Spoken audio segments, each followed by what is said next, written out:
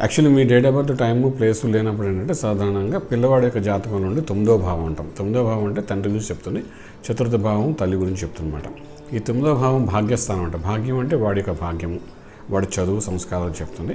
అదేవిధంగా తొమ్మిదో స్థానం అవడం వలన తండ్రి గురించి చెప్తున్నమాట తండ్రి స్థానం తొమ్మిదో స్థానం అనమాట అంటే మీ ఫార్చ్యూన్ ఎలా ఉంది? తొమ్మిదో స్థానం లగ్నంగా మనం భావించి చూసినప్పుడు అంటే మొత్తం ప్రొడిక్షన్స్ అన్నీ తెలుస్తాయన్నమాట అయితే మీ నక్షత్రం తెలియదు ఏ రోజు పుట్టారో తెలియదు కానీ మీ జరగబోయే సంఘటనలన్నీ తెలిసిపోతాయి అన్నమాట.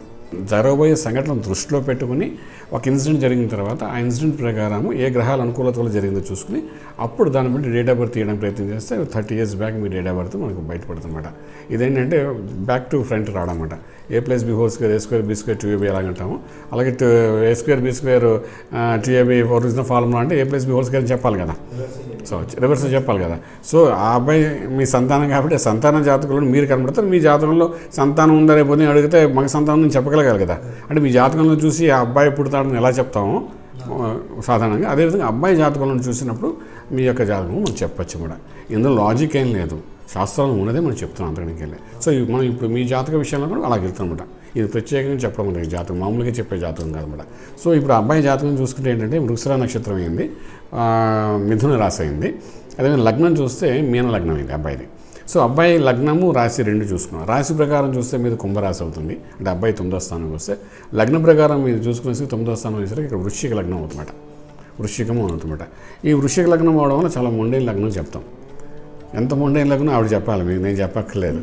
ఎంత మొండిగా మీరు ఉంటారు నవ్వుతున్నది మాత్రం ఎంత మొండి ఇక్కడ చెప్పేస్తున్నమాట మీకు. ఆ రగ్న లాంటిది పట్టిన పట్టు వదలకుండా జాగ్రత్తగా పట్టుకుంటారు. అది ప్రొఫెషనల్గా అనుకోండి పర్సనల్ అనుకోండి. అలా సాధిస్తారు సక్సెస్ అవుతారు. రవిశంలో లగ్నంలో ఎప్పుడైతే కలిసి ఉంటారో తల్లిదండ్రులు ఇద్దరు తండ్రి కొడుకులు ఇద్దరు ఎప్పుడు దూరంగానే ఎప్పుడు కొంచెం ఆడో టైప్ మీకు చెప్పాలనుకుంటే నేను చెప్పకూడదు ఇక్కడ. కెమెరా రికార్డ్ అవుతుంది కాబట్టి అంత డిస్టెన్స్ అనేది మెయింటైన్ చేస్తారన్నమాట. అది లగ్నాలు మనం చెప్తున్నమాట లగ్నంలో బుధుడు కూడా ఉన్నాడు. బుధుడు రవి ఉంటే అంటే సాధారణ డబ్బు సంపాదించాలని అందరికీ అనిపిస్తుంది. కానీ మీకేమనిపిస్తుంది వందని ఎలా వేయి చేయాలని తొందరగా అని చెప్పే ఆలోచన ఇప్పుడు మీ బ్రెయిన్లో ఉంటుంది. అవునా కదా? కరెక్ట్గా చెప్పండి రికార్డ్ అవుతుంది. అవును చెప్పండి. చెప్తే కానీ రికార్డ్ అవుతుంది. లేకపోతే నేను ఏదో చెప్పేస్తాను అనుకుంటారు ఇది. ఎందుకంటే ఇది విచిత్రమైన జాతకం చెప్పడం అన్నమాట. ఇలా ఎవరు చెప్పరు. నేను చెప్తాను ఇంకెవరు ఎవరో చెప్పరు ఇలా. పిల్లల నుండి తండ్రి చెప్పడం తండ్రి నుండి పిల్లలు చెప్పడం ఇలా చెప్పరు అనమాట సో ఇటువంటి క్యారెక్టర్ మీద ఉంటుందన్నమాట. సో ఇంత క్యారెక్టర్ ఉన్న శుక్రుడు అన్నాడు రెండో ఇంట్లో ఉన్నాడు. శుక్రుడు అంటే ఇంటి లాల్. అంటే ఇంటి ఇంట్లో ఎక్కడుంది మీకు? ధనము కుటుంబం వాక్ విద్యాస్థానం ఉండండి అంటే అంటే ఇంటి ఇల్లాలు వస్తేనే కానీ మీ లక్ ఫేవర్ అవ్వదన్నమాట. అంచేత వివాహం అయిన తర్వాత మీకు కొంత లక్ ఫేవర్ అయిందని చెప్పడానికి అవకాశం ఉంది. మరి అది కూడా మీరు కొంత ఒప్పుకోవాలి. మరి ఇది ఒప్పుకున్నప్పుడు అది కూడా కొంత ఒప్పుకోవాలి. లేకపోతే ఆవిడ ఇప్పుడు రేపు ఉదయం ఫుడ్ పెట్టదు. క్లారిటీకి చెప్పింది అది. ఆవిడ అంటే అంత చెప్పిన మీరు ఎందుకు ఒప్పుకోలే అంటుంది. సో అది మనకి అక్కడ కనబడే విషయం అంట మూడో ఇంట్లో రెండో ఇంట్లో కుటుంబ స్థానం ఉన్నాడు మూడో ఇంట్లో కుజుడు ఉన్నాడు కాబట్టి అది చాలా అదృష్టం. కుజుడు మూడో ఇంట్లో ఉండడం ఉచ్చస్థితిలో ఉండడం కావాలి ఏంటంటే ఆస్తులు పెరుగుతాయి. అది పొలాలు అనుకోండి స్థలాలు అనుకోండి ఏదైనా ఆస్తి మాత్రం పెంచేస్తాడు. అంటే మీ లాంగ్విటీలోని ఎంత చెప్తాడంటే మామూలుగా ఈ రోజు మీ దగ్గర ఒక ఎకరం ఉంది అనుకుంటే మీ లైఫ్లో ఒక ఫిఫ్టీ ఎకర్స్ పైన మీరు చూడగలుగుతాం మీ సొంత సంపాదన. అంతే ఇంకేదే సో కుజుడు బలంగా ఉండడం వల్ల ఇంకొక అడ్వాంటేజ్ ఏంటంటే మనకు వంశపారపర్యంగా వచ్చే స్థిరాస్తి కూడా కలిసి వస్తుందన్నమాట. ఏదైనా ఉంటే అది కూడా వచ్చేస్తుంది ప్రాబ్లం లేదు.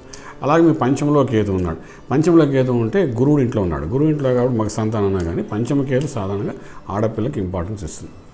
అంటే there is a chance of female ఒకవేళ ఆ అదృష్టం బాగుండి ఆడపిల్ల పుడితే మీరు కోటీశ్వర్ అయిపోయారు మీ సొంతంగా. ఇంకేం మొహమాట పడకలే అంటే ఆ లక్ అలా ఫేవర్ చేస్తున్నాడు if you go for female వెళ్తే ఆడపిల్ల నెక్స్ట్ ప్రిపేర్ అయితే ఆడపిల్ల పుడుతుంది. ఒకరు పుడితే కూడా మోస్ట్ సక్సెస్ఫుల్ ఇన్ లైఫ్ అన్నమాట. అది అక్కడ మా పంచంలో ఉన్న కేతు చెప్తున్నమాట అలాగే మీకు అష్టంలో చంద్రుడు ఉన్నాడు. ఈ అష్టమ చంద్రుడు ఏం చెప్తాడంటే సాధారణంగా చిన్నప్పుడు ఇప్పుడు కాదండి ఎయిట్ ఇయర్స్ టెన్ ఇయర్స్ అప్పుడు మీకు జరిగిన ఇన్సిడెంట్స్లోని ఇల్ హెల్త్ అనుకోండి లేకపోతే చిన్న చిన్న యాక్సిడెంట్స్ అనుకోండి ఇవన్నీ ఎయిట్ నైన్ ఇయర్స్ లోపల కనబడి ఉండాలి. అంటే మీకు ఏమైనా గుర్తుంటే చెప్పండి లేదా నేను గుర్తు చేసి చెప్తాను మీకు. యాక్సిడెంట్స్ జరిగి అది ఎయిట్ ఇయర్స్ లోపల మీకు బాగా కనబడుతుంది. దానికి కారణం అంటే అష్టమిక్షణం అంటే బాలారిష్టాలు ఉన్నాయంట. బాలారిష్టాల కారణంగా అవన్నీ జరుగుతాయన్నమాట. సో అది మనకు మళ్ళీ జ్యోతిశాస్త్రం మనకు స్పష్టంగా చెప్తామన్నమాట తర్వాత భాగ్యంలో గురుడు ఉన్నాడు మీకు. అదృష్టం ఏంటంటే ఏదున్నా మీ అమ్మ నాన్నగారి నాన్నగారిది మీకు వచ్చేస్తుంది. మధ్యలో ఏమి మీరు గ- గట్టి ప్రయత్నం చేయట్లేదు ఒకవేళ ఆయన దగ్గర వంద రూపాయలు ఉన్నా మీకు వచ్చేయాలి వచ్చేస్తుంది. వచ్చేది మీకు వస్తుంది అందులో డౌట్ లేదు అది భాగ్యంలో గురుడు ఉండడం గురుడు భాగ్యంలో ఉండడం ఉచ్చస్థితిలో ఉండడం మీరు you are more clever in your professional way అంటే మీరు ఎక్కడ ఉంటారో అక్కడ you create a good you know business like అంటే ఒక టీంని కరెక్ట్గా మీరు చేయగలుగుతారు. మీరే డిపార్ట్మెంట్లో పనిచేస్తున్నాను. తర్వాత క్లెవర్నెస్ అనేది బాగుంటుందన్నమాట. అంటే జ్ఞానం ఎక్కువ. మేధస్ తక్కువ జ్ఞానం ఎక్కువ. జ్ఞానం ఉంటుంది. అయితే ఎలా ఇంప్లిమెంట్ చేయాలో మేధస్సు మాత్రం అది తక్కువ. కానీ ఇంటలెక్చువల్గా ప్లాన్ చేయగలుగుతారు మీరు. దానికి కారణం గురువు యొక్క బలం వల్ల అది అనమాట లాభంలో రాహు ఉన్నాడు.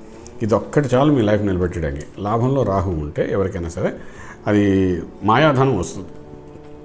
ఇందాక మనం అనుకున్న వంద రూపాయలు వెయ్యి రూపాయలు అలా చేయాలని ప్లానింగ్ మీకు ఉందని చెప్పాను కదా దానికి Rahu సహకరిస్తాడు. Rahu is the top most planet best planet in యొక్క కుండలి అన్నమాట లెవెన్త్ హౌస్ రాహు ఉన్న వాళ్ళు ఎవరైనా సరే కానీ నేను ఇప్పుడు చూసిన వాళ్ళు కనీసం వెయ్యి మంది చూసుంటాను. వాళ్ళు ఏదో ఐదు వేలు పదివేలు ఇరవై వేలు అలా సంపాదించిన సడన్గా వాళ్ళకి ఏంటంటే లక్షలోకి వెళ్ళిపోతారు. కానీ రాహు బలం అంతమాట లా ప్రాఫిట్ ఇస్తాడు మాయాధనం ఇస్తాడు. మోసము ధనం కాదు. మాయతో కూడిన ధనం. సో లెవెన్త్ హౌస్ మీకు లైఫ్ అంతా కాపాడుతుంది. సో మీకు మాయాధనం ఎక్కడ వస్తుంది ఎప్పుడు వస్తుంది నేను చెప్పకపోయినా అది చెప్తాను దశల ప్రకారం but it is a profit for your life. So ఎక్కడైనా రావచ్చు మీ సడన్గా మీ ఇంట్లో వాళ్ళు ఎవరైనా అనొచ్చు అత్తగారు అనొచ్చు మామగారు అనొచ్చు ఇదిగో ఈ పది లక్షలు నీకు ఇస్తున్నాను అనొచ్చు లేకపోతే ఏదో పని మీద వెళ్తే ఎక్కడో లక్కీలాగా రావడం కలిసి రావడం జరగచ్చు. లేకపోతే ఎప్పుడో మీరు చిన్న ఇన్వెస్ట్మెంట్ చేశారు అది పనికి అనుకుంది. దాని మీద సడన్గా ఇప్పుడు హైప్ రావచ్చు. పక్కనే హైవే రోడ్డు రావడం వల్ల దాని రేటు పెరిగి సక్సెస్ అవ్వచ్చు. ఏదైనా మాయాధనం అనేది మాయాధనం. ధన రూపాయన వస్తుంది ప్రస్తుతం రెండు వేల పదకొండు నుండి మీకు ఏం చూస్తున్నారంటే ఇక్కడ ఇక్కడ ఉన్న మన దశల వారీగా మనం తీసుకుంటే రెండు వేల పద్దెనిమిది జనవరి ముప్పై ఒకటి నుండి మీరు అంటే మన ఫిబ్రవరి నుండి చాలా కొంచెం క్రైసిస్ లాగా టైట్నెస్ స్టాగ్నెంట్ అయినట్టుగా ఒక- భావనతో ఉన్నారు మీ లైఫ్ కరెక్టేనా కొంచెం గట్టి చెప్పిన కరెక్ట్ ఆయన రికార్డ్ అది. అది ఉంది. సో ఆ ఉన్నదానికి రిలీఫ్ మీకు నవంబర్ నైన్త్ నుండి అయిపోతుంది. మీ అబ్బాయి జాతకంలో మీ గురించి ఎన్ని విషయాలున్నాయి చూడండి? నవంబర్ గల you will be relief from your problem నేను ఇప్పటివరకు మీ ప్రాబ్లం ఏంటి ఏమీ అడగలేదు. జస్ట్ నా ఓన్గా చెప్పిన విషయాలు ఇవ్వ నేను. ఇక ముందు మీరు ఏ ప్రశ్న వేసుకున్నా నాకు సమాధానం చెప్తాను. కానీ ఇంత క్లారిటీ ఉంటుంది. అబ్బాయి దాంట్లో నుండి తండ్రి పూర్తి వివరాలకు సంప్రదించండి. Shri Vedamata Gayatri Jyotishyalayam. Brahma Srimantha Suryanarayana Sharma. Srinilayam first floor one not one Sai Vaibhav layout Chitrapuri colony Khajaguda Delhi public school పక్కన Nanakramguda Hyderabad five lakhs eight. Phone numbers triple eight triple five nine one four seven. Triple eight triple five nine one four eight. Nine seven zero triple four seven double zero one. Nine seven zero triple four seven double zero two.